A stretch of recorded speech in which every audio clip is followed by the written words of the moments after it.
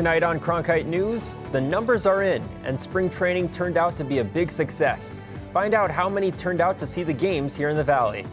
Plus, a look at the 18th annual Dragon Boat Festival at Tempe Town Lake. And what Governor Hobbs said this morning about the recent abortion ruling, enacting a near total ban. Good evening and welcome to Cronkite News. I'm Jonah Krell. And I'm Asher Heyer. Thank you for joining us. Cactus League spring training is over, and the fans made the most of the season, showing up in unprecedented numbers, Asher. That's right, Jonah. The numbers came out this morning, and some teams saw a significant rise in fans. Cronkite News reporter Ben Yates joins us now to take a look, take a look back at this season's attendance.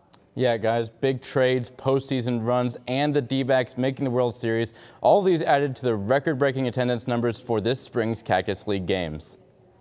Despite some days with poor weather, the Cactus League has again reached attendance numbers not seen since before the pandemic.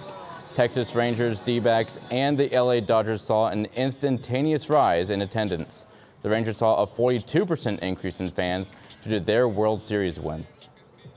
Couldn't be more proud of the community um, we have in the Arizona area because Bridget mentioned the Grapefruit League, very disparate, you know, very fractional Arizona, we got our leadership in the room. We talked about our issues we had, challenges during the uh, pandemic and those three years. I think we're well our way back.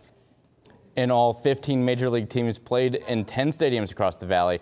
And who knows, maybe we'll see even higher attendance numbers next year. The Diamondbacks are at home tomorrow facing off against the St. Louis Cardinals after a six game road trip. The Snakes started off the road trip being swept by the Atlanta Braves and losing their first game against the Rockies. Although it looked like they were going to drop the third game in the series, Eugenio Suarez hit a two-run double in the ninth to put the D-backs up 5-3, securing the W and winning the series 2-1.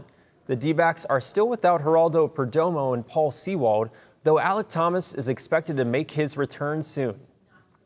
And now from the mound to the circle, college softball is in full swing. Arizona State softball added some new pieces to its roster, including one player who's making her homecoming back to Arizona. Cronkite News reporter Alaya Harriet has more on Tanya Wendell's decision to return home and transfer to ASU.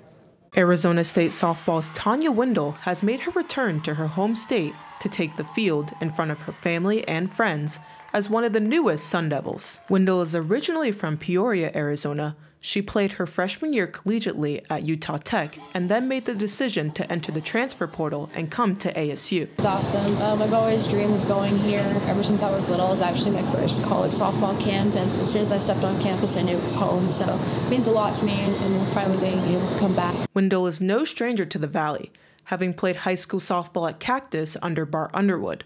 Underwood knows Wendell would turn heads at ASU just like she did in high school. Tanya, as a freshman, made an impact right away because um, she could run. She was really fast, and and she also hit the ball. She could slap, bunt, or or swing away. At Utah Tech, Wendell was named WAC Freshman of the Year in the 2023 season and was an all WAC first team selection.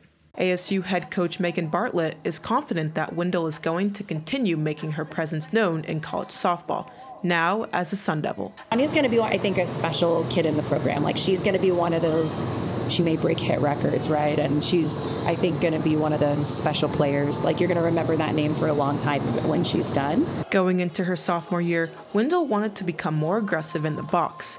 Coach Bartlett knows Wendell will continue to find her footing. And in the first game of the season for ASU, Wendell started and earned her first career hit as a Sun Devil. As she continues to get reps, right, um, continue to compete at a really high level, we're just excited to watch her go because anytime you're not having to like amp kids up or dial them down or fix things on kids, it's really just a matter of giving her the right to land at a bridge, watching her go. Wendell has already made an instant impact in maroon and gold, and Sun Devil fans are going to hear her name for years to come. In Tempe, Elia Harriet, Cronkite News. Moving to hockey now, and while the Coyotes are still looking for their den for next season, the NHL regular season is still going on with the Yotes on a five-game road trip. The Yotes were up north facing the Vancouver Canucks and pulled off a massive upset. After the Canucks failed to capitalize on a penalty shot, it would be the rookie Logan Cooley with the shorthanded goal. With all the noise of the Coyotes moving to Salt Lake City, you would think it might impact the team, but yesterday's victory proved otherwise. I think when they were the first rumor about Salt Lake City was can tell you exactly the date because it was January 24th, and that we were just finishing a four win in the last five games, and we went on a on the 14 game losing streak. So we did not manage those distractions really well the first time. So I said it's not everybody who has a second chance. We had a chance to to do better this time. The Yotes return home to Mullett on April 17th for their final game of the season. From the ice to the hardwood, the Suns are now the seventh seed heading into the postseason. After being blown out by the Clippers at home earlier this week, Phoenix went to Los Angeles last night looking for payback and did just that, blowing out the Clippers 124 to 108. But despite the win, the Suns lost their, their sixth seed after the Pelicans beat the Kings. This means the Suns are now in the play-in tournament, and Phoenix Phoenix finish will finish off their season on the road facing the Kings tomorrow, then the T-Wolves on Sunday. And Asher, while the Suns were on the road, back here in the Valley, the focus may have been on the Final Four this past weekend. But as Cronkite News reporter Cameron Palmer tells us, there was another game which took place here in the Valley. Historically black colleges and universities held their third annual HBCU All-Star Game at Grand Canyon University in Phoenix in front of an enthusiastic, sold out crowd. The Final Four in the NCAA and the HBCU All Star game happens in the place where the Final Four exists. So I was very happy when I received the call from CBS Sports, the broadcaster partner, to say, Can you help the HBCU All Star game integrate into Phoenix because there are no HBCUs here? With no HBCUs in Arizona, this allows students from those schools to show off their school spirit to a new audience. See all the HBCU graduates that was in the stand, how, how proud they were, and how much fun they had to go have a flashback back to their school days. This event was more than a game to many spectators. It was about representing a culture to be seen throughout the country. It means a whole lot to me. It's, a, it's an event that brings a lot, bring the, our culture together.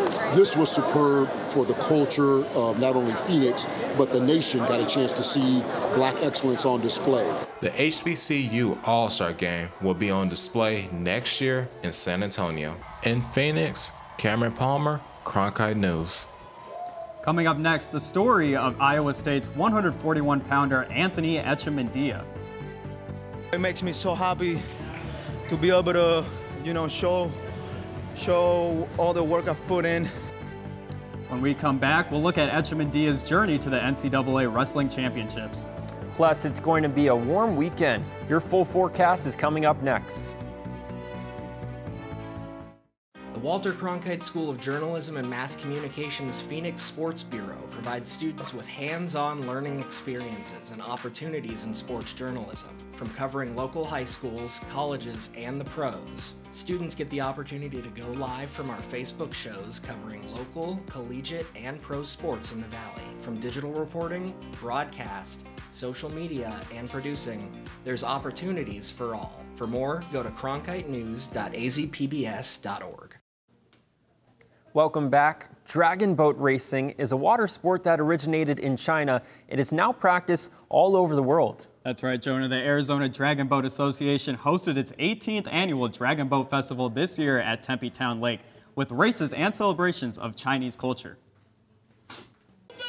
Dragon boat racing is one of the oldest organized competitions in human history. The sport carries the traditions of an event that occurred in China over 2,000 years ago. Today, the sport celebrates both the competitive and cultural aspects with large community involvement right here in Tempe.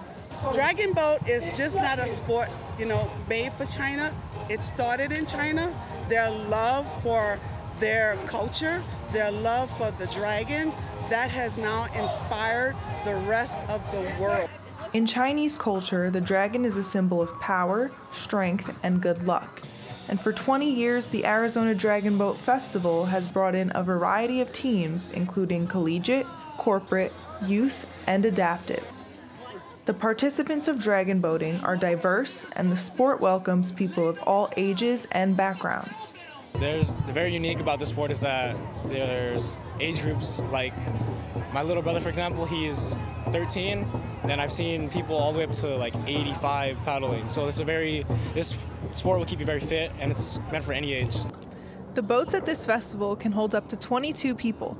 20 paddlers at the center of the boat, a steers person at the back end of the boat to keep it on course, and a drummer that sits at the head of the boat to keep it on pace. It has brought the community and people into another type of athleticism that's not common that you see now. This team sport requires the precision and synchronization of each individual on the boat to be successful in the race. The colorful event was a huge success, and their hope is to continue to grow the sport one dragon boat at a time. In Tempe, Rebecca Daly, Cronkite News. Dragon boat racing. If you don't know, now you know, right? And it looks entertaining, that's for sure. Let's get it in the Olympics next. How about that? the Arizona Dragon Boat Association has 10 different teams in their organization that practice weekly at Tempe Town Lake. Well, it'll be a beautiful weekend to get out on the water at Tempe Town Lake. Yeah, it's the perfect time, Asher. Let's find out more about the temperatures headed our way. Anthony Remedios joins us here at the desk with the weather forecast. Anthony, what can we expect this week? Yeah, sure. Today we saw the hottest temperatures of the year so far, and we can expect that trend to continue over the next couple of days. Looking at this evening, though, it's going to be a warm, beautiful evening here in Arizona. So get out there, enjoy it while you can, while those temperatures are in the 80s. Now, as we get into the summer months here, we're going to see those low temperatures slowly increase. But for tomorrow specifically, mid 60s here in the valley and even approaching the low 30s up north. But the most important thing this weekend is going to be to stay hydrated. We're going to see temperatures in the low to mid 90s across most of southern Arizona this, tomorrow, much like what we saw today. And if you're taking a weekend road trip up to the Grand Canyon, a nice, a nice, comfortable 70 degrees. The nice thing is, though, that we're going to see some light to moderate winds tomorrow and Saturday, perfect for offsetting those warm temperatures. And hey, in honor of National Pet Day, what better way to celebrate than taking your dog for a walk? Now, tomorrow you're going to want to take your dog out earlier in the day before lunchtime as those temperatures might be a little too hot for your dog's paws in the afternoon. And finally, looking ahead to our full eight-day forecast here, we'll see those temperatures in the 90s through Saturday, just in time for the return of Diamondbacks baseball to Chase Field before those temperatures will trail off on Sunday and throughout most of next week. From the Cronkite Weather Center, I'm Anthony Remedios. Back to you guys. Thanks, Anthony. Well, it's been a long journey for Iowa State's 141 pounder Anthony Echemendia from fleeing his home country of Cuba to finding a home in Tucson. Yeah, a crazy journey. The wrestler's perseverance and resilience were on full display at the NCAA Wrestling Championships. Cronkite News reporter Jack Bartlett was in Kansas City, Missouri to get the scoop. From Cuba to seeking asylum in Tucson, Arizona to here in Kansas City, it's been a long journey for Iowa State's 141 pounder Anthony Echemendia and his journey to becoming an All American. He simply says it's a blessing. It makes me so happy to be able to, you know, show, show all the work I've put in and pay him back for a, for a second chance because that man right there, along with my high school coach and all the, the rest of the coaching staff, they, man, they, they helped me in 2018, Echemendia was in Guatemala for a wrestling tournament with the Cuban national team when all of a sudden he promptly left the squad in hopes of immigrating to the United States. It took around 20 harrowing days to get to the U.S., traveling through the jungle of Belize and avoiding the Guatemalan police. Since he left Cuba, Echemendia has not seen his parents, but they were blowing up his phone with texts during the NCAA tournament to show their support. My parents are driving me crazy. They're in Cuba and they're just texting me, my mom, I'm praying for you. Uh, I'm like, hey, you need to chill on me. Let me stay focused on the tournament. We talk later. You know, his, his father uh, and uh, my our assistant coach, Coach Fernando Villascuse, uh, grew up. Uh, they were kids together, and so that relationship goes way, way back. So Fernando's been like a father figure ever since Anthony came over to the United States about four or five years ago. Echemendia found asylum in Tucson, Arizona, where he wrestled at Sunnyside High School. He says it's the best high school wrestling program in the nation and is grateful for the opportunity afforded by his coaches. I can't really be humble about this because Coach Leon, man, we have the best program in the country. 30 some state titles as a team. The, those guys, man, work really hard And like I said before, they are so good because they not only care about wrestling, they care about you as a person, and that's why they do so well. Besides, they're just extremely good, extremely good uh, coaches and athletes. As a redshirt junior, Echemendia will have the chance to repeat as an All American and get a chance at a national championship once again. Here in Kansas City, Jack Bartlett, Cronkite News. Just an incredible story. And after a fifth place finish, Echemendia finally has a chance to catch his breath this offseason. And while in Cuba, Echemendia won five national titles and will look to add an NCAA championship to his resume next season. Coming up next, a look at today's top news headlines. Marnie Jordan joins us now from the newsroom with what we can expect. Thanks, Jonah and Asher. When we return, a replica of the Vietnam Veterans Memorial, where you can find it right here in the Valley, and what the memorial means to those in Arizona.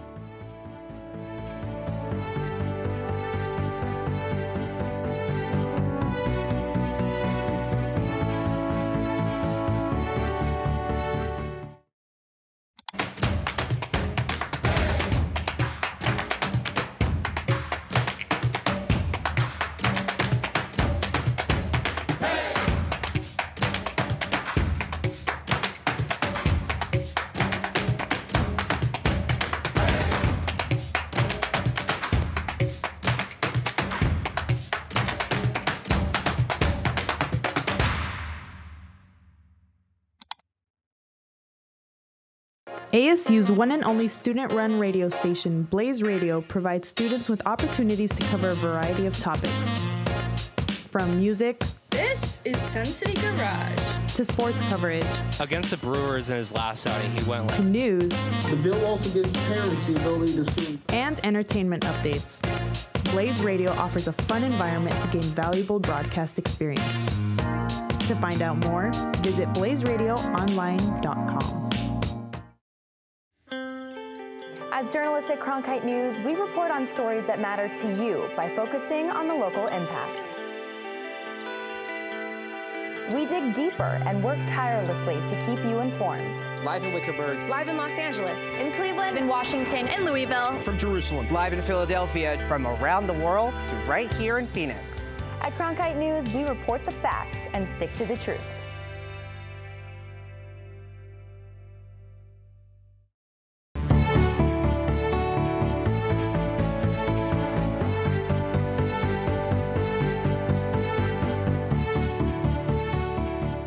Welcome back to Cronkite News. I'm Marnie Jordan, here with your news across Arizona. Following Tuesday's near total abortion ban ruling in Arizona, Governor Katie Hobbs responded today discussing what she hopes for Arizona's future. Cronkite News reporter Adriana Gonzalez Chavez is in downtown Phoenix to share Governor Hobbs' response with us. Earlier this morning, Governor Hobbs held a press conference regarding a new program that will help homeowners in Arizona afford housing. But during this press conference, she was also asked questions regarding abortion. As of right now, Governor Hobbs says that she will not be holding a special session to talk about abortion. If the 1864 ban is repealed, we're still stuck with the 2022 ban. And the bottom line is that these decisions should not be between a, a person who needs health care and the government and politicians. It should be between a woman and her doctor. And that is the ultimate goal right there. Governor Hobbs also said that she's talking with political leaders on both sides about next steps for abortion here in the state. In Phoenix, I'm Adriana Gonzalez Chavez, Cronkite News. The Phoenix police chief has fired an officer after an incident in 2022 where he shot a man who was throwing rocks. Interim Phoenix police chief Michael Sullivan determined Officer Jesse Johnson was out of policy during the fatal shooting of Ali Osman, who was unarmed and turning away, according to court records. This comes after the city already settled a wrongful death lawsuit with Osman's family for $5.5 million. In a statement issued by the Phoenix law enforcement, the president said, quote, "We are appalled at interim Chief Sullivan's message and his decision to terminate Officer Johnson. This will no doubt have a chilling effect on our membership and their service to the community." The Arizona Game and Fish Department wants to remind the public to keep their pets vaccinated after multiple rabies incidents. A gray fox, suspected of being rabid, bit three people in two separate attacks earlier this month at Saguaro National Park in southern Arizona. Another fox bit someone on Mount Lemmon near Tucson. Both animals were killed. These incidents serve as a reminder to regularly vaccinate pets against rabies and to keep a safe distance from wildlife, especially animals that could be behaving abnormally. A replica of the Vietnam Veterans Memorial is here in the Valley. Cronkite News reporter Sydney Whitty went to the opening ceremony of the memorial. Lake Pleasant is one of the 33 stops that the Wall That Heals Memorial will make at sites across the country. Well, the reason I'm at here is today's my birthday, and the gentleman I'm here to see was my friend who uh, was born on April 9th, and he passed away in Vietnam about 24 days before he was to leave. Willis Albert Toombs, one of the many names engraved on the wall that heals. Blonde headed, blue eyed kid from the Midwest. Uh, would have been a third generation stonemason for his family. Uh, he, uh, probably like most of these young men and women, bubbly, full life ahead of him. Spanning the length of 375 feet and has over 58,000 names of the men and women that lost their lives during the Vietnam War. It's a healing process. Yes. It's, it's a healing process. And while the wall brings up raw emotions and difficult memories, even those who helped organize the memorial recognize the healing it brings to the community. And so the stories that will be shared over the next four days are part of that healing process. And that includes for me because my stepfather, yes, he was shot down and he came home, but he had uh, his, his aviator in the back of his F4, his name, Andy, is on the wall. And I will, and I will find his name and I, and I will mark it down as well. The memorial's name holds its purpose to heal. It's just a healing healing experience to be close to it and see the devastation that took place, so many lives that were taken. The lives of the 58,318 men and women live on through the memorial and serve as a reminder to younger generations about those who made the ultimate sacrifice. This kind of sets it up to where people can uh, see the war has consequences. The memorial is open 24 hours today through Sunday when it closes at 2 p.m. In the newsroom, Sydney Whitty, Cronkite News. Arizonans have raised more than $5.3 million for nearly 900 nonprofits in Arizona. It's all part of an annual event called Arizona Gives Day. In the last decade, Arizona Gives has donated nearly $50 million to local nonprofits. It's all organized through the nonprofit advocate AZ Impact for Good. This year, almost 30,000 donations were made, and more than 1,200 volunteers also agreed to contribute nearly 60,000 hours to their favorite nonprofits. That's it for today's news headlines. I'm Marnie Jordan. Back to Jonah and Asher. Thanks, Marnie. Well, coming up next, imagine being out sea when a swell damages your boat. Yeah, it sounds like a nightmare, but it really happened to these three mariners. Thankfully, these men were rescued by the U.S. Coast Guard, but wait until you find out how they survived all alone on a deserted island for more than a week. What Cronkite News means to me is opportunity.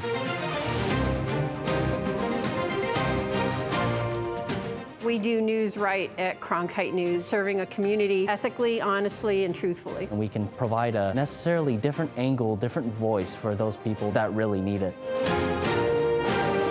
The students, they have a lot of passion for journalism. I get to do a lot of stories about the Hispanic community. And we have access to cover all of these sorts of events and get media coverage of all these different personalities and athletes, and that's just a huge thing. But it's also a chance for people here to be humanized. Individuals of all walks of life. Cronkite News will help take the next generation of journalists onto their next careers. I am old enough to remember Walter Cronkite. We're putting a lot of pride on his name because we are practicing a lot of the, the things that he did. I think he'd be smiling from ear to ear. I. I. I. We are Cronkite. The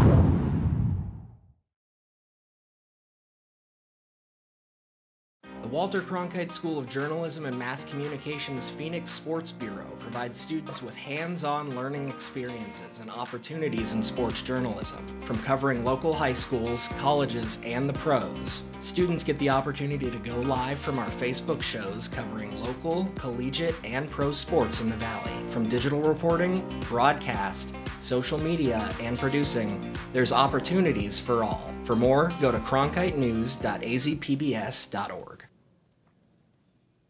Today is National Pet Day, and we want to let you know that the Arizona Humane Society's Healthy Tales Mobile Veterinary Clinic will be on the San Carlos Reservation starting tomorrow. They'll be providing free spay and neuter surgeries and wellness services. Limited appointments are available. This event is only available to San Carlos Reservation members. And finally, tonight, three people are lucky to be alive after they were stranded on a remote island. Yeah, that's right, Asher. The three mariners had been lost on the island for more than a week before being rescued by the U.S. Coast Guard. They became so desperate, they actually used palm fronds to spell out help in the hope someone would see it. And that's just what happened because the help sign was spotted by a U.S. Navy jet. The men had been fishing in the area when their boat was damaged. They made it to the deserted island and lived off coconut meat and fresh water from a well. Wow, an inspiring story to close. That's it for Cronkite News. Thanks for joining us. And to see top Arizona stories anytime, log on to cronkitenews.azpbs.org.